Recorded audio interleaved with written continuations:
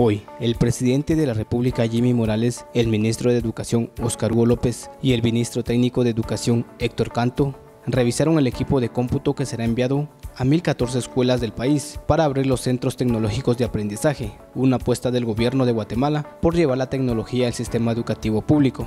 En total, son 16.224 computadoras las que se proveerá a las escuelas referidas a partir del lunes 3 de septiembre, anunció López, quien precisó que con esto se espera dotar a los centros educativos de 138 municipios. En tanto, se planifica para el próximo año la ampliación de la asistencia. Esta es una primera etapa.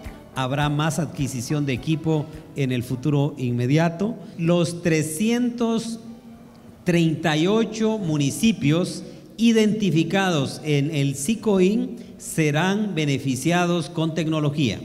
Eh, por eso la estrategia se denomina 360 grados, en virtud que daremos la vuelta a todo el país, es decir, no habrá ni un solo municipio en el país que sea beneficiado.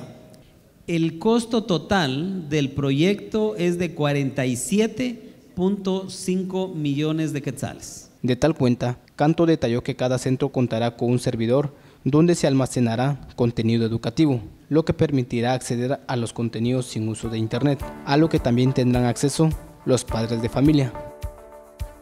Para el efecto, Educación invirtió 47.5 millones de quetzales, explicó el viceministro técnico. Por primera vez en la historia del sistema educativo nacional hemos hecho una inversión importante para llevarles computadoras a 1014 escuelas en el país.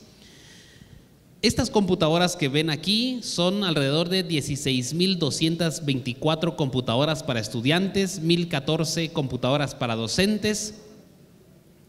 Comprende eh, toda una estrategia de llevar eh, tecnología en el aula. Cuentan con un servidor en el cual va almacenado todo el contenido educativo para que no necesariamente necesitemos internet.